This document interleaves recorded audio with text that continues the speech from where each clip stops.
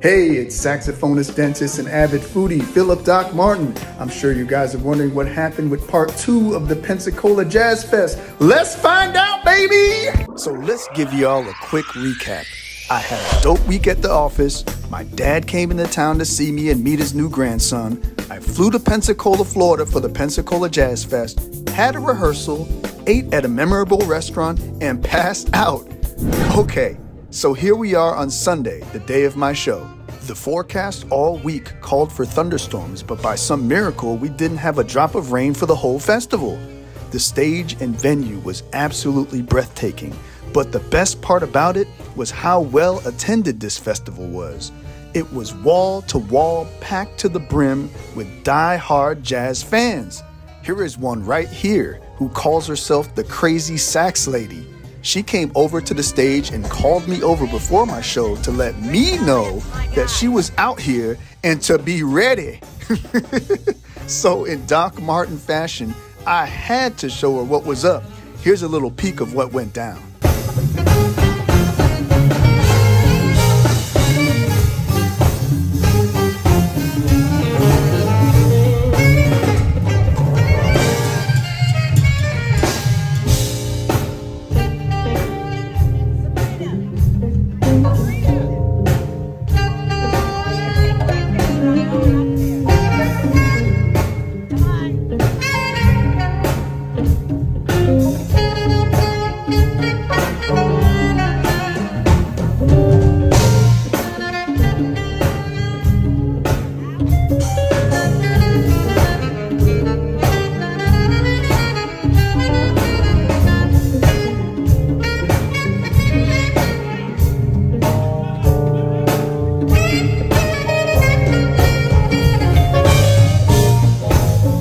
Can you tell I had a blast? I really did, but what was most satisfying to me was getting to see my musical family in the flesh doing their thing. We were all in this situation together, and it was great catching up with everyone. Performing at festivals like this is such a special thing because you're really playing to die-hard jazz fans, which is my target audience. It was so awesome getting to interact with this crowd after the show. I met up with old fans and made a whole bunch of new ones. So, after all this playing and socializing, I was so hungry. Time to eat! There were only three food trucks at this huge festival for some reason. The first one had all this rotten food on display, so that was a pass for me. The other two were selling the same exact things, but this one had a line, so I went over there. I was so hungry, I just started ordering, and the lady could barely keep up. It took a little while due to them cooking things to order. Oh, oh, my number just got called. 35.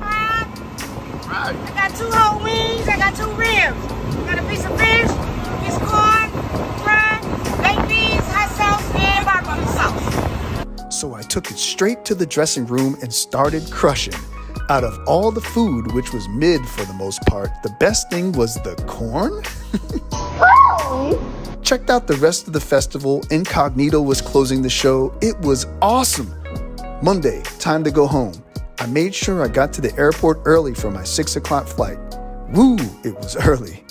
Checked in and went through security, and when I got to the gate, I was greeted with this wonderful message. My 6 a.m. flight was now leaving at 11 a.m. Wow. Thanks, American. I got home way later than I expected, but I still got home in time to chill with my family and my father before he left the next day. My brother grilled up some of his famous jerk chicken. It was great, and good times were had by all.